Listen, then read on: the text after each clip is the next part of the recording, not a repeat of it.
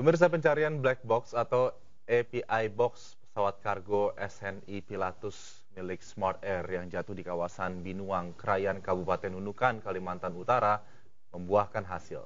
Tim SAR gabungan menemukan black box serta pemancar signal darurat. Proses pencarian black box pesawat berlangsung dramatis. Personel tim SAR harus turun langsung dari heli Karakal ke lokasi puing pesawat dengan menggunakan tali khusus. Setelah black box ditemukan beserta emergency locator transmitter, pemancar signal darurat, personel membawanya kembali ke atas heli.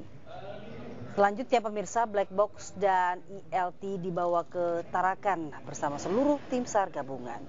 Pada Senin malam, rombongan tim SAR mendarat di Lanut Anang Busra Tarakan Black box serta ILT akan dibawa tim KNKT untuk dilakukan penyelidikan. Kami insan gabungan yang berada di lapangan sebanyak 10 dan kami berhasil untuk mengevakuasi black box atau tadi api terekam dari data pesawat dan